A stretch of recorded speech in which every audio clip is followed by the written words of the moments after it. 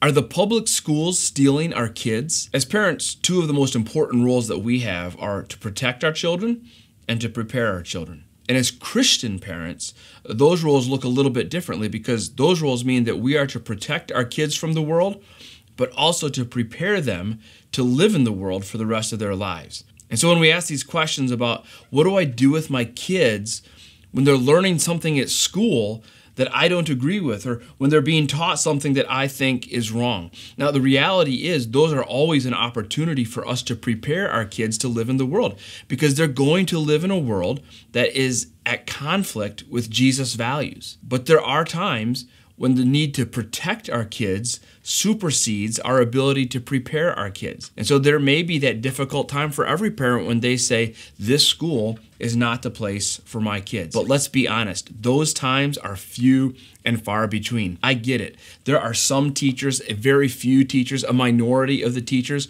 who are out there trying to overrule what you're teaching in the home and maybe want to change your kids' minds about your deeply held values, but that's few and far between. For the most part, teachers want to partner with parents.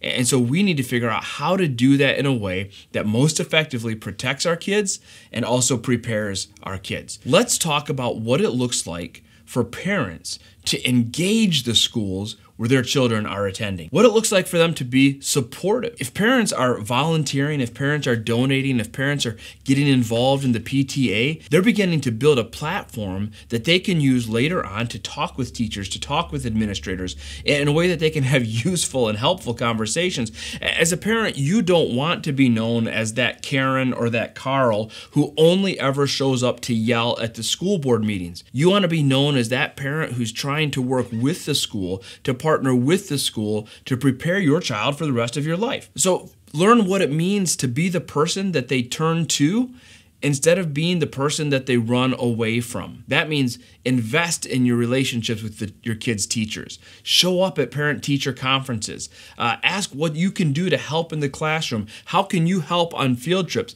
Be a part of the school, be a part of your kids' education. And then when the time comes, be prepared to have those difficult but important conversations. When the time comes where you have to say, I'm not comfortable with what's happening here, I'm not okay with what's being taught here, learn to have those conversations in a gracious manner. Look for places where where you share values. Uh, look for solutions that are win win. And at the end of the day, if you're investing in your kids' teachers, if you're being a parent that's supportive, if you're helping out wherever you can, they're going to listen to you when the time comes.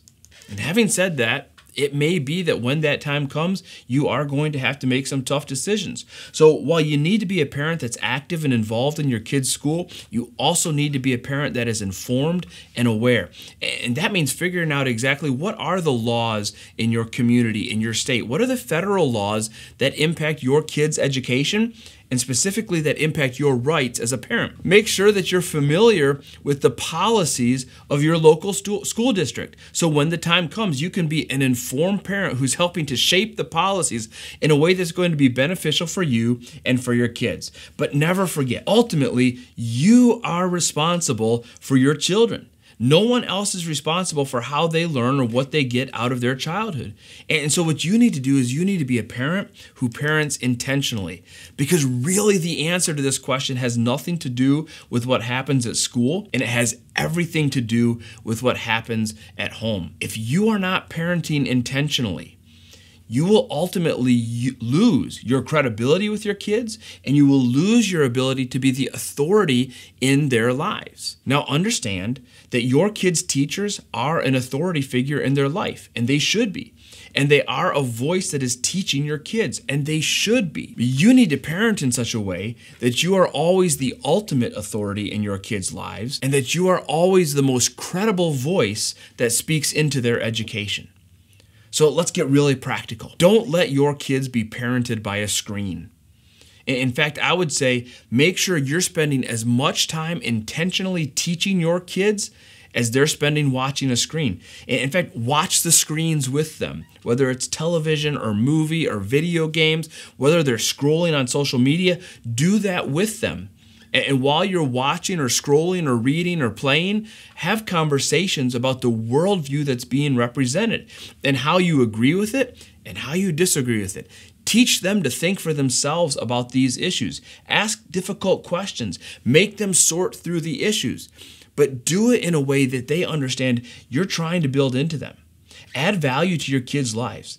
Give them wisdom whenever you can, because as you add value to their lives, as you give wisdom to them, as you spend quality time with them, you're building your credibility. And ultimately, at the end of the day, if they see you as more credible than their teachers, then they will adapt your worldview instead of the worldview they're being taught at school. If you parent well, it ultimately won't matter if your children hear something that's in conflict with your worldview.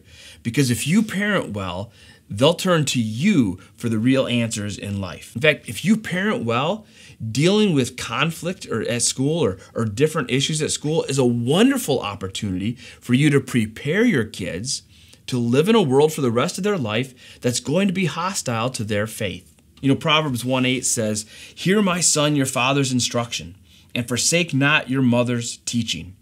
You know, children grow wise by listening to their parents' teaching. But if their parents never teach, they'll never have the chance to grow wise. Take every opportunity. Be intentional. Be responsible. Parent your children today so that they will be wise tomorrow.